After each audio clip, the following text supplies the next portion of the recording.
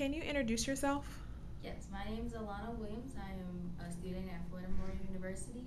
I'm a senior and graduating senior, and I major in law and government and minor in Spanish. Fantastic. And when and where did you study abroad? I studied abroad summer last summer, so summer 16, in Cuba, in Havana, Cuba. Nice. And how long were you there for? Uh, four weeks. Great.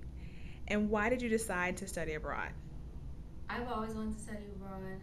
Um, growing up, me and my family would always take vacations to like other countries. So, and I would always think that it was too short of a trip, and I wanted to stay longer. So, studying abroad was a way for me to do that.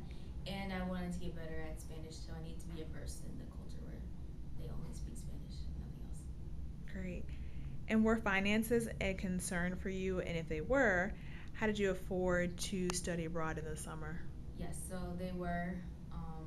End up taking out loans because I couldn't afford it, and um, I had to only do one session because I wouldn't be able to take out like that much of a loan. So, but for spending money wise, I, you know, had a job, so I just saved up money over the months because I knew I was going probably like February or March. I knew I was gonna go, so I like saved up money from paychecks to be able to afford uh, spending money and living expenses and stuff.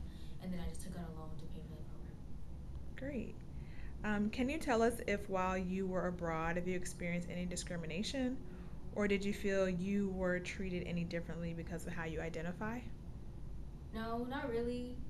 Um, with Cuba, it's way more integrated than the U.S., so it's not weird to see black people walking around like it is here in certain neighborhoods. So you just people just don't really um, kind of double take unless they hear you talking. So most people thought that I was Cuban first, and then when I started talking, or if I was with the other people in the study abroad group who looked more American, then they would assume that I was American, and then they would like try to come up to you and talk to you like, hey, and stuff like that. But it wasn't nothing negative, really.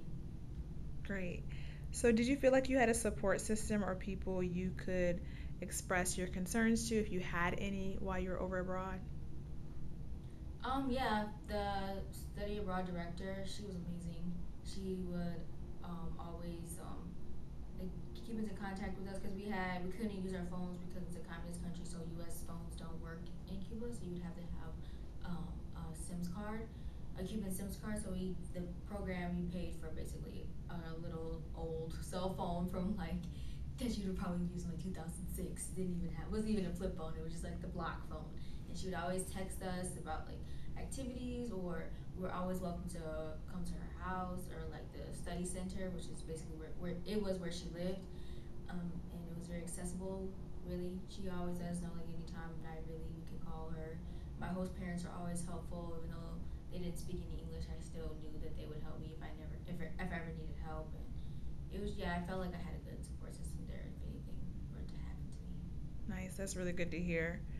Um, last question is if you can provide any advice for a student who's a little bit concerned about going abroad, maybe uh, they've never been out of the country, maybe they're first generation, or um, just has some concerns about finances, what would be your last uh, or your your final piece of advice for a student who is kind of concerned about studying abroad?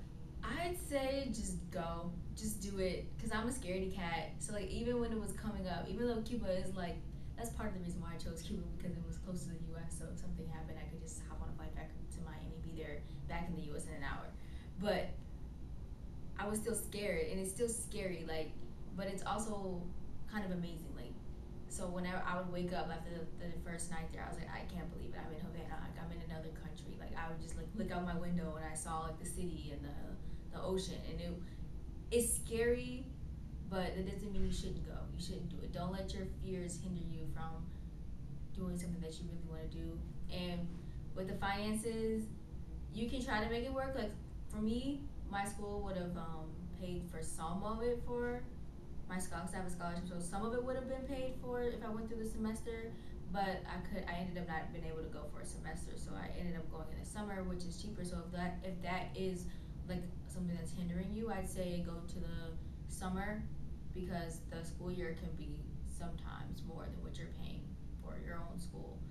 So I try to make it work. Plan early. If you're thinking about it, just plan for it. Even if you don't end up going, still apply, still do all of that stuff because you can change your mind and just be like, oh, I will be able to go. That's you'll still be considered. But if you like, oh, I want to study abroad, and then don't do anything for like a year, and then you're a senior, and you're like, oh man, just so even that thought, if you're a freshman or a sophomore, just at least try to act on it and try to make it happen. And if it doesn't work out, it doesn't work out. But at least you know you tried. Absolutely. Well, thank you for the opportunity to interview you. No problem.